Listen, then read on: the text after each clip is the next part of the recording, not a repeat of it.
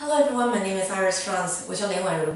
Today we're going to learn to calculate labor force participation rate as well as the unemployment rate. I get this number from the Bureau of Labor Statistics and the number is for April 2020 during the lockdown of the coronavirus pandemic. And we can see first, we're going to see the block of non-institutionalized population and that's 260 million people so what that means is that you're an adult over 16 years old and you're not in jail, for example.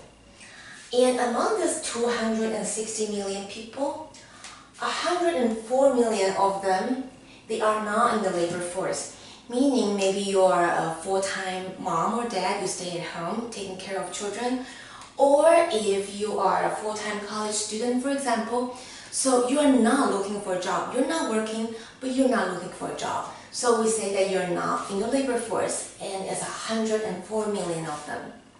And the next is the employed. So um, there are 133 million people who are employed in the month of April in the United States.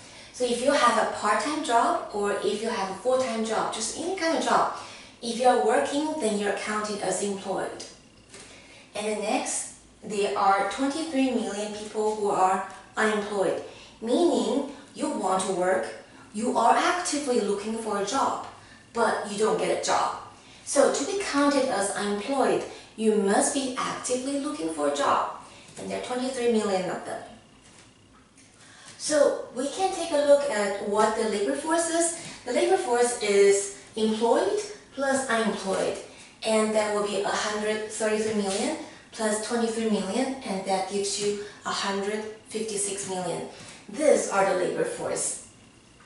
And unemployment rate would be the number of unemployed, 23 million, divided by the labor force. Notice that it's not a whole non-institutionalized population, but it is only the labor force, meaning the employed plus the unemployed. And that's 156 million of them. And after you calculate, you'll find out that the unemployment rate currently in April is 14.7%. So that's a very high number. In fact, the highest number since the Great Depression. And the labor force participation rate is this. You're going to use the labor force, 156 million, divided by the total non-institutionalized population, which is 260 million. And that gives you 60% of labor force participation rate. So I hope this helps and I'll see you next time.